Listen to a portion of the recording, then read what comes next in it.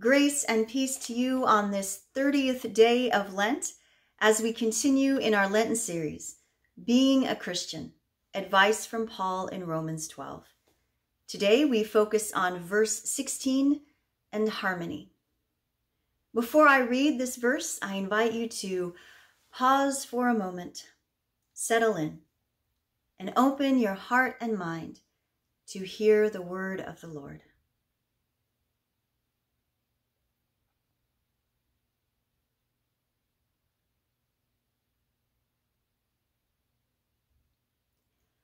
Romans 12:16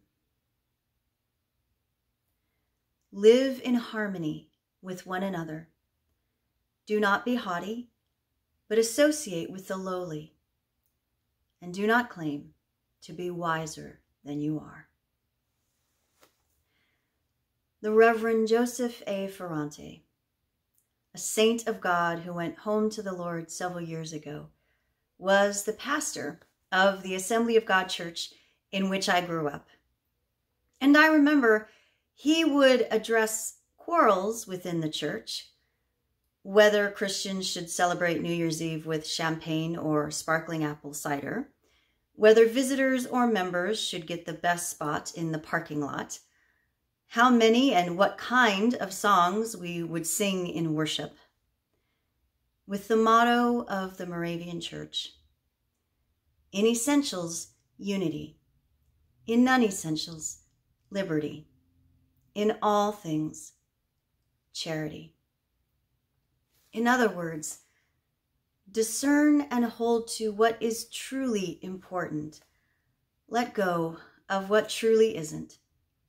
And no matter what, love each other. In the words of William Barry, Christians believe that God has revealed his intentions. God, it seems, creates this universe to invite all persons to enter the community of the life of the Trinity, the perfect communion of Father, Son, and Holy Spirit.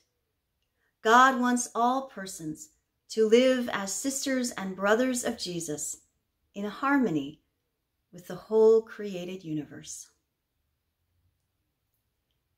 How might you bring more harmony into your life? Let us pray. Gracious God, move us to embrace all that fosters the loving harmony you desire. Amen.